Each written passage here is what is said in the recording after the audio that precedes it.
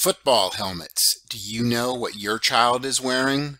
This is the 1883 Navy football team, a notable team in the history of football because of this man right here, Joseph M. Reeves.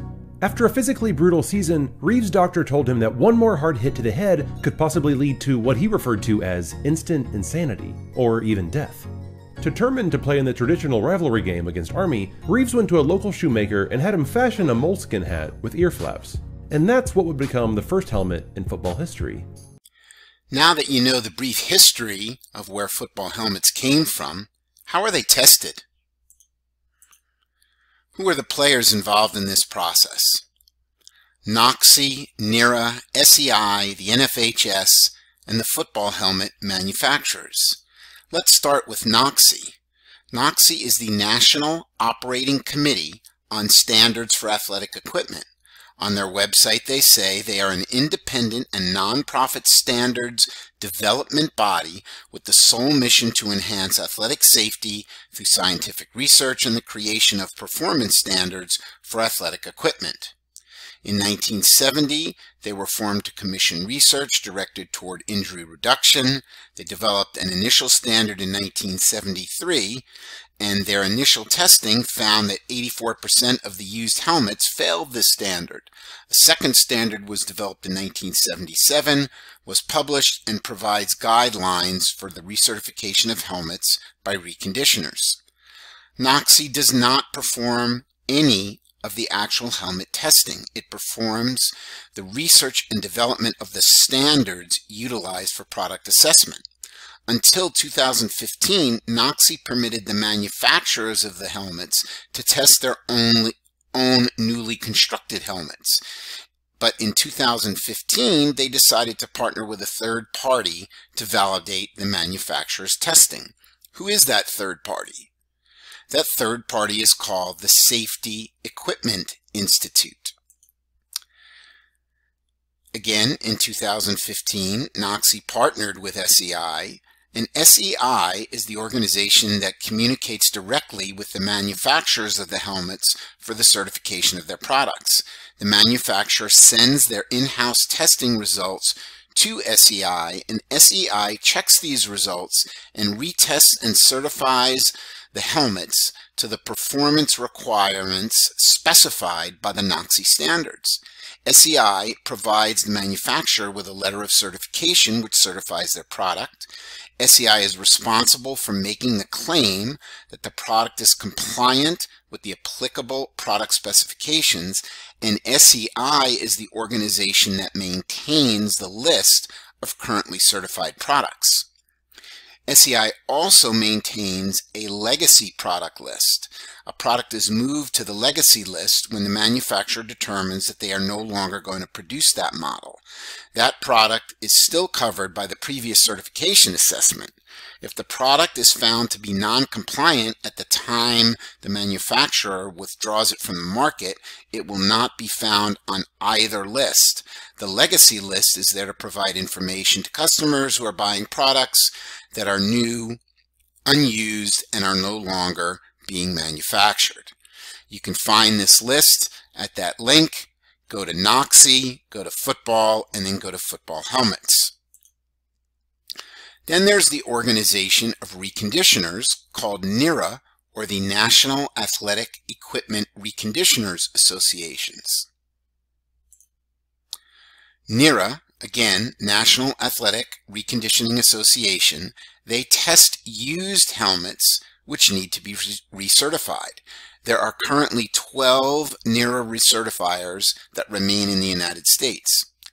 The term reconditioning means the inspection, cleaning, sanitizing, repair, and restoration of athletic equipment to the original performance standard of that equipment.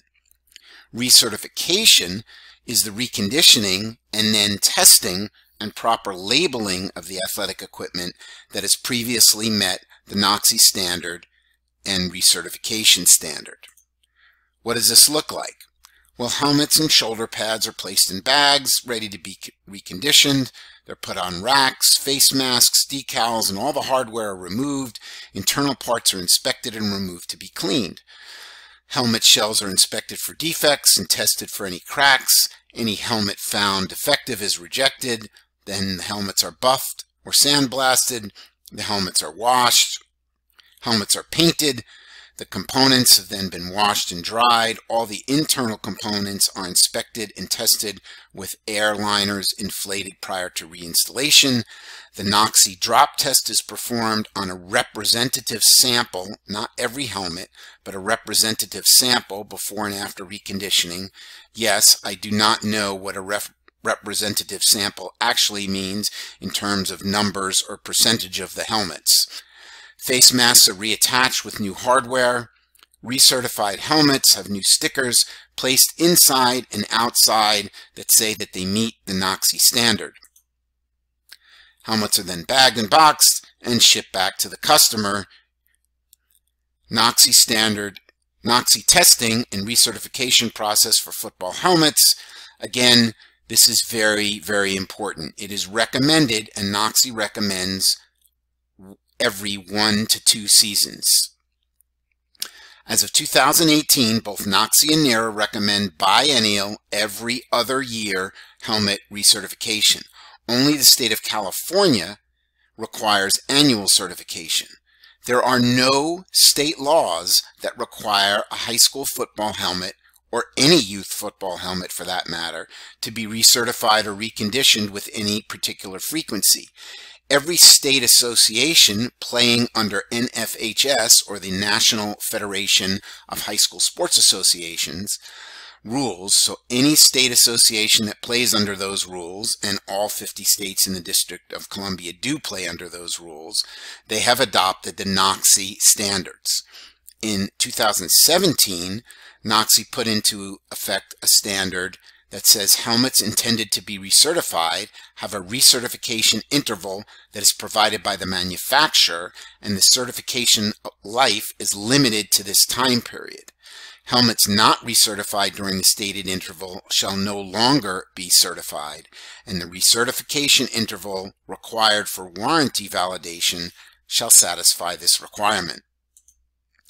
Only companies licensed by NOCSAE meaning NERA members, may perform the reconditioning and provide recertification. Xenith Schutt Riddell Adams, all manufacturers of football helmets, strongly recommend that every football helmet should be reconditioned annually, but not less than every two years by a company which is licensed by NOCSAE. Riddell states that failure to have the helmet reconditioned a minimum of every two years by a NOCSAE licensed reconditioner voids the manufacturer warranty. The helmets that meet NOCSAE standards must have a seal that says meets NOCSAE standards and a logo for that type of helmet. Both the logo and the seal must be permanently branded or stamped on the outside rear portion of the helmet. Additionally, all NOCSAE certified football helmets must have a standard warning label attached to the inside or outside of the shell of the helmet that tells the safety and proper use of the helmet. Riddell says failure to have the helmet reconditioned at least every two years by a NOCSAE licensed reconditioner will void the warranty. Schutt says in order to honor the shell warranty after the first year of use, reconditioning by a NERA certified reconditioner is required every other year. The CDC says football helmets should be replaced no later than 10 years from the date of manufacture. Many helmets will need to be replaced sooner depending on wear and tear. And for middle school football and all of youth football, meaning under high school age, neither NOCSAE nor NERA provide a reconditioning requirement, but they recommend annual reconditioning. NOCSAE is now requiring the third-party certification as we discussed from the Safety Equipment Institute. So you can see the labels that must be on a helmet. What does this actually look like on the helmet? Well, here's the embossed label as was discussed, but some still may have a stick-on label. Um, you should definitely look for the embossed label on the left that says SEI certified meets NOCSAE standards. You will also notice that next to that there is a sticker that says initial season. That is when the helmet was manufactured, so that means the 2017 helmet. For reconditioned and then recertified helmets, they must have a sticker which says recertified meets NOCSAE standard with the year and the recertifier name. So on the right, you see a helmet that says initial season 2017. It was recertified in 2018. It meets the NOCSAE standard and it was recertified by a NERA member. All critical things that must be on this recertified sticker. If it doesn't have that, it has not been recertified or not been recertified properly. So who keeps the records? Well, the reconditioners, and I've spoken to three of them, say that they keep the detailed records of every helmet they recondition and who worked on the helmet and the reconditioning date. Does the school or school system keep these records?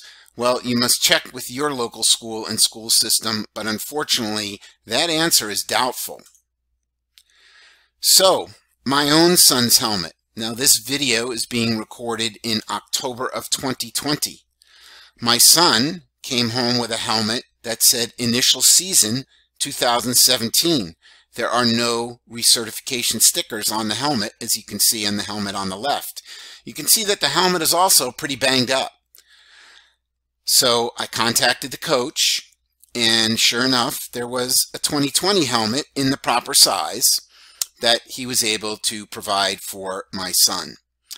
This helmet is a new helmet, says initial season 2020. It's a different model. It's a better quality helmet. You must be that parent. I must repeat that. You must be that parent. You must advocate for your child if you're going to let your child play football, it is your child's brain. You just must be that parent. It's unfortunate, but that's the way it is. Had I not asked, he would have played a season with a 2017 helmet that was never properly checked. That could be disastrous. Now, when it comes to helmets, you must also make sure it's fit properly. So I asked my son about that. He said none of the coaches made sure the helmets fit properly. So here is a graphic from the National Athletic Trainers Association that goes over the general components of helmet fit.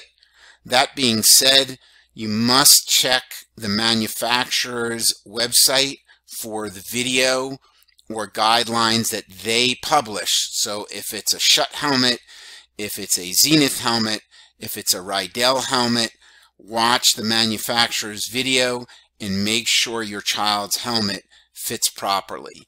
No good to have a great helmet and if it doesn't fit properly and it's loose and spins all over the place, that doesn't do your child much good. So please make sure that your helmet fits properly. And again, be that parent, ask the coach to fit the helmet properly. Be safe.